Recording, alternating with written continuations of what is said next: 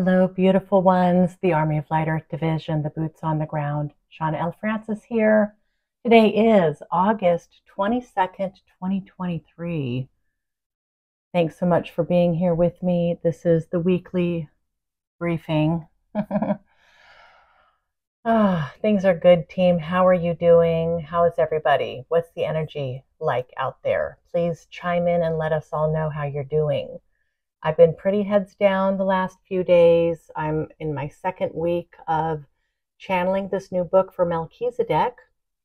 And then today, it's going to be a fairly short video. I do have a nice message from Melchizedek for all of you, for humanity, um, kind of the current state of affairs, and uh, some just really nice, beautiful, heartwarming messages that only they can do from their place. Um, it's really quite an honor. I, I will tell you, um, I'm my fears of failure, my fear, you know, this fear of failure that this thing that I have, you know, definitely rearing its head with the channeling of this book.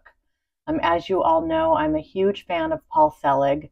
Melchizedek have channeled um, 10 books with Paul. The 10th one's not released yet, but the last one, Resurrection, I've listened to it four times on Audible, and every time I felt like I got new stuff out of it. Um, so, you know, and he's a double master's degree, taught drama. Um, I'm not going to get that right, but, you know, he's got an academic background and is very well spoken. And, you know, and I've got this book coming out. It's very different, you know, um, and it's going to be focused on the negative reptilian regime and the subjugation of humanity.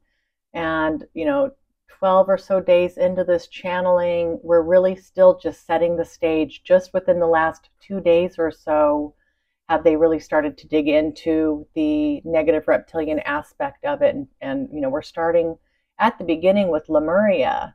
Um, and I had channeled that before last year. I think it was September or so, October, where um, Melchizedek had come through and given a really good overview of kind of more the ancient origins of the negative reptilian influence here on the planet.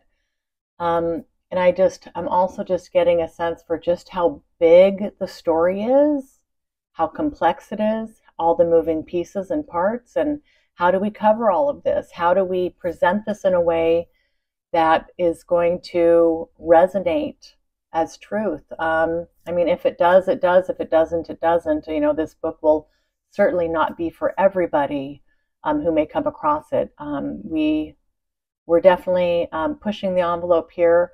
A lot of this information's already been out. A lot of books have been written about the negative reptilians, um, but this will be channeled material from Melchizedek, um, highly evolved priesthood of beings who know what they're talking about. So I want to get every word right. I want to get the energetic frequencies right. Um, and I want to do a really good job, you know, you know, really making sure that I capture everything that they want to say and all the frequencies, like I said. So it's been a bit nerve wracking, um, just to be honest. Um, always an honor, and it's so special, and that there's just nothing else I'd rather be doing. But it's it's definitely a thing that I'm I'm getting used to this, and just really um, relaxing into it, taking it one day at a time, and not getting too too worked up about it. But um, so that's where I'm at today with the book. I'm not going to go into any of the book excerpts today because, frankly, I'm just not ready. I um, recorded a bunch of stuff, but haven't had time to sit down and really clean up those, those transcripts yet. Um, what else is going on here? I have been so tired the last, I'd say, 48 hours or so, really, really tired.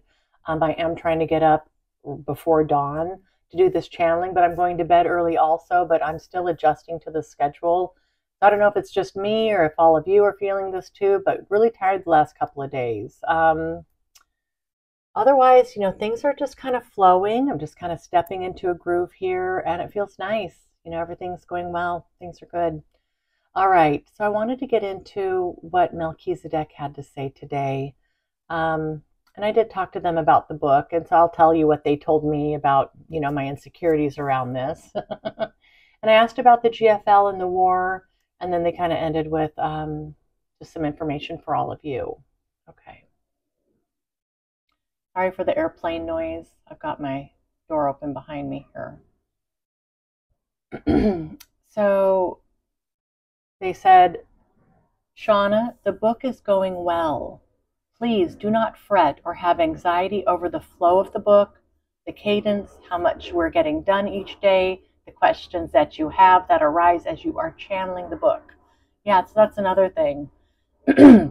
Just, you know, er, when something comes up that I've channeled before in the back of my mind, I'm like, is, does this match what they said before? Am I getting this right? they said here, we have everything fully under control, dear one, and it's going well. It will continue to get better and better as time goes by and you become more comfortable with the material.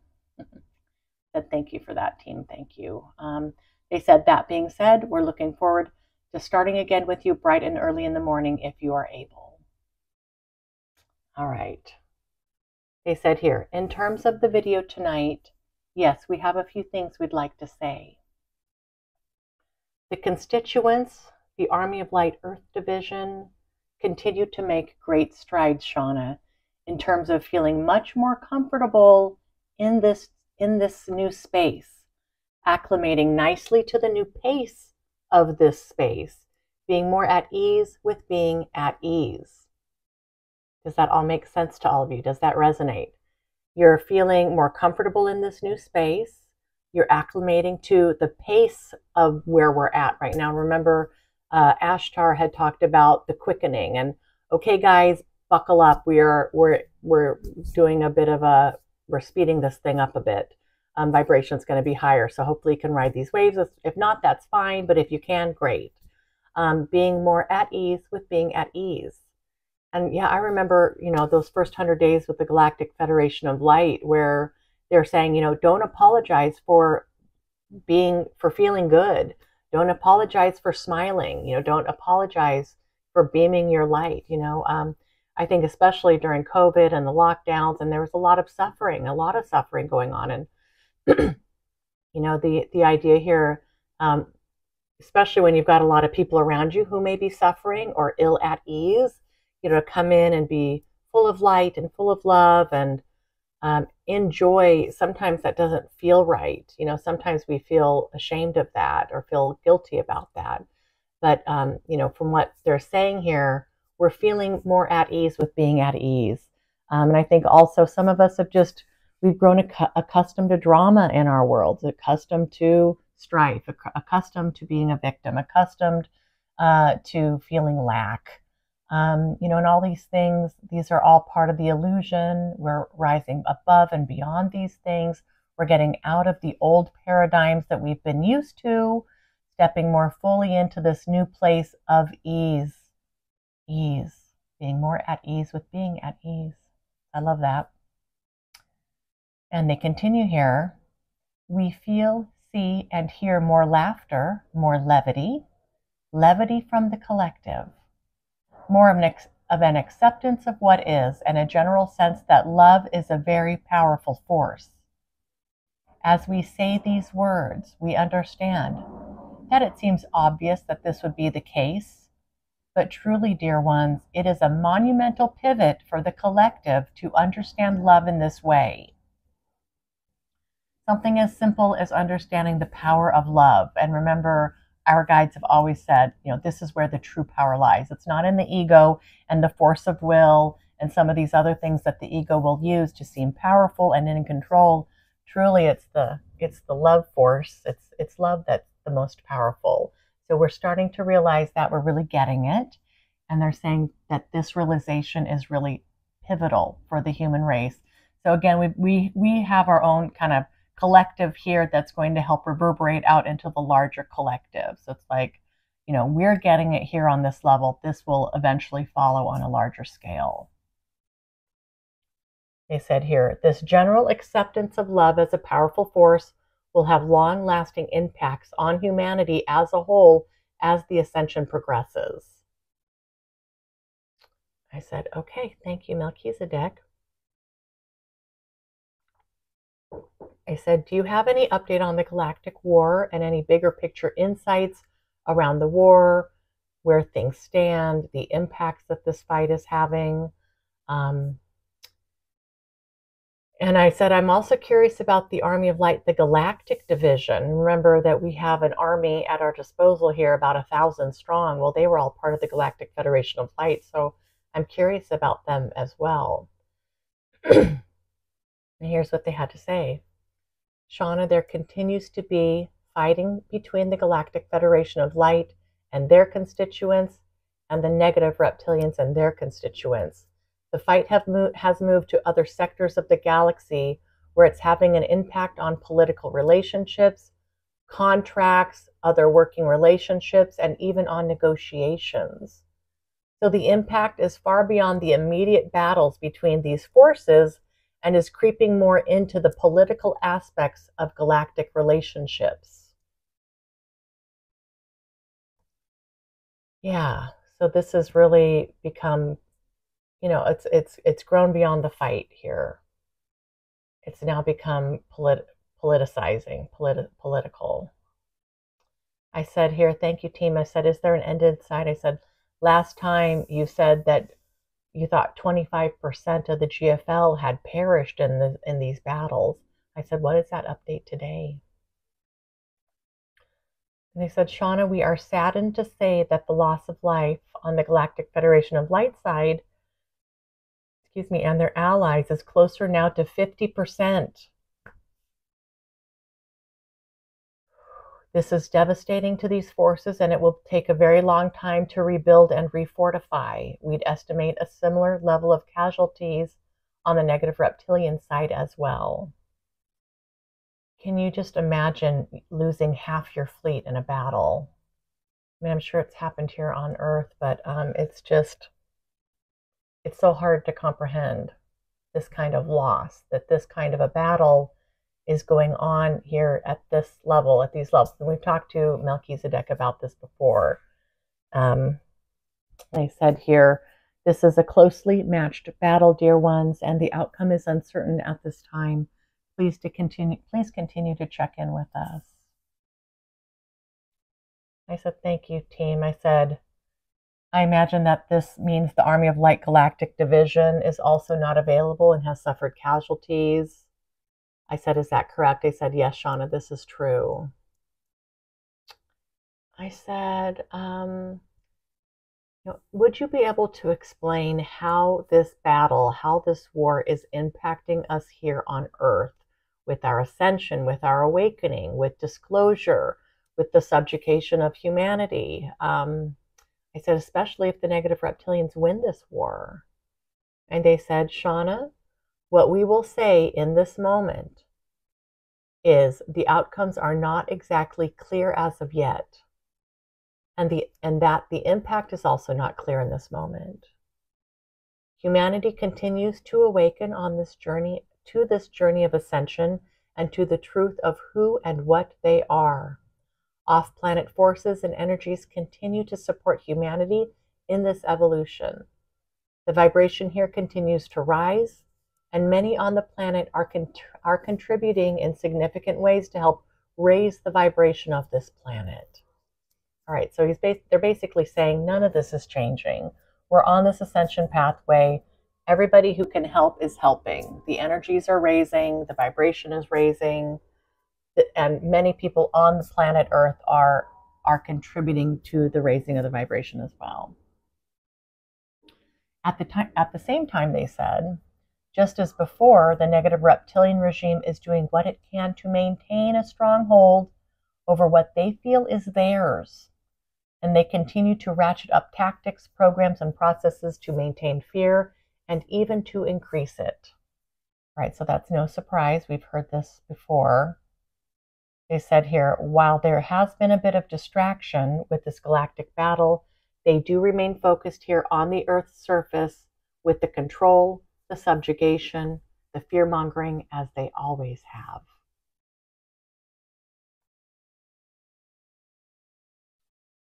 And they said here, soon this planet will feel very much like a house divided. One side of the house hanging on to the old and the known, unaware of the ascension, unaware of the power of love, continuing to embrace division and a service to self orientation. This is appropriate for many on the planet and should not be judged nor frowned upon, as all choices are reflections of a soul in lesson. And also, as I read those words, I understand that it's quite a, um, you know, generalized view. You know, things are much more complex than this. Like one side's this and one side's that. We're going to have all these gradations in between um, along that spectrum of folks. But they're saying as time goes on, it's one of these things. And they've talked about this in a few other videos as well. This is kind of the trajectory here. And they continued. There will be those who choose to step out of their comfort zones of history, of what has always been, into the new and unknown as pioneers and wayshowers, putting aside the very powerful egoic structures and embracing a path that's led more by the heart, where the power of love is seen for its truth and its transformative abilities. Those who identify more with the love vibration and the concept of unity will continue to show up in action, will continue to show up in action and behavior and words in support of this path.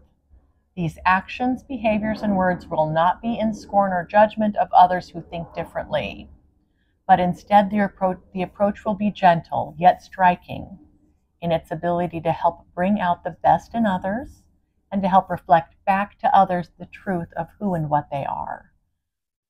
Yeah, Melchizedek, this has been their rallying cry from the very beginning. Um, we reflect back to people who and what they truly are. And, when, and people really feel this.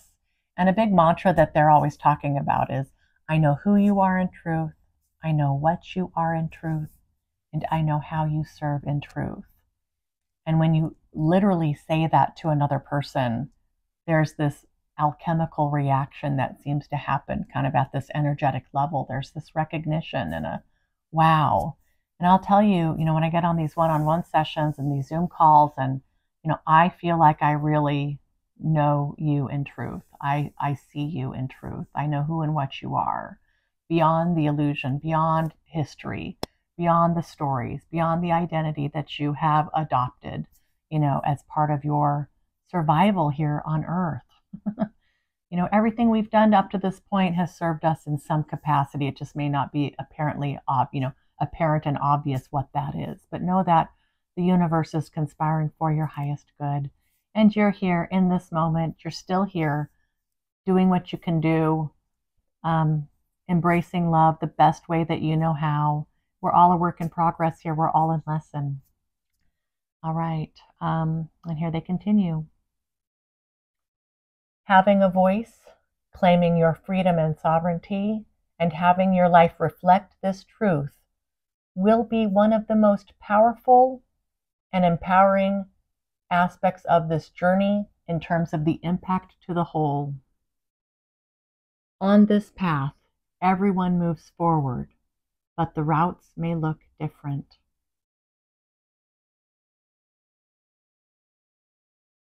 We ask that you continue to hold your torches high, your torches of light high, as a beacon for others who may be seeking that light.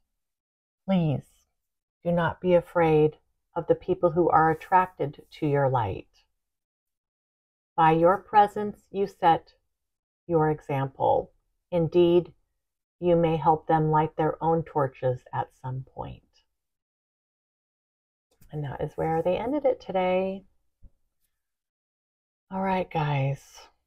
Having a voice, claiming our freedom, our sovereignty, having the having our lives reflect this truth will be one of the most catalyzing ways that we help others on this journey in terms of waking up, impacting the whole, raising vibration. Um,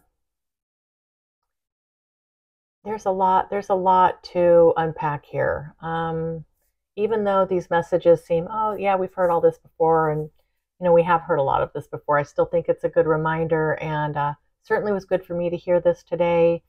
And um, you know, we're we're moving into this where where who we are, what we are, how we carry ourselves how we relate to other people, how I treat you, how you treat me, how I think about the world, how I think about other people, you know, starting to really carry ourselves as light workers, even through the, the small things, not just for big things, but, you know, every day, our thought processes, how we reason things, how we think about things. So it's like blending that heart with the ego in action for the light. Um, yeah.